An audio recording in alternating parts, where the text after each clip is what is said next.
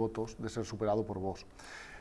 Aquí la cuestión está en saber si las encuestas dicen la verdad o se están equivocando, como pasó en Castilla y León, donde eh, Mañueco ganaba en todas las encuestas y va a tener mayoría absoluta, y luego se quedó a solo 16.000 votos de perder las elecciones autonómicas.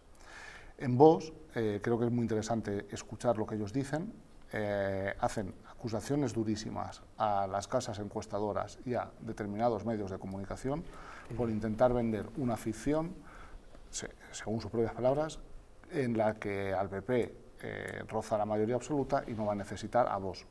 Pero ahí están coincidiendo incluso en la encuesta del país, que no sería sospechoso ¿no? de desear la victoria del PP. Es lo que vos viene a decir, que todas las casas encuestadoras están fabricando esta realidad y que a lo largo de las próximas semanas irán modulando la ventaja que obtiene el Partido Popular para dibujar un escenario completamente distinto. De hecho, eh, en el meeting que Santiago Abascal protagoniza este, el pasado sábado en Granada, Vos da por seguro que Juanma Moreno solo podrá ser vicepresidente.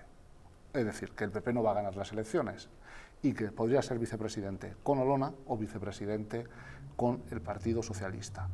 Y eh, todo vos, todos los dirigentes, vos en Andalucía, está seguro de que esto es así.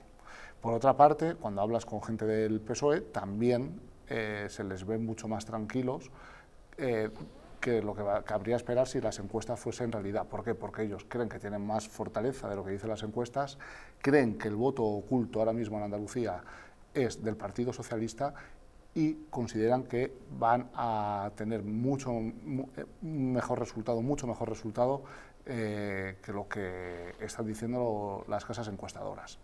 Y luego ambos coinciden, tanto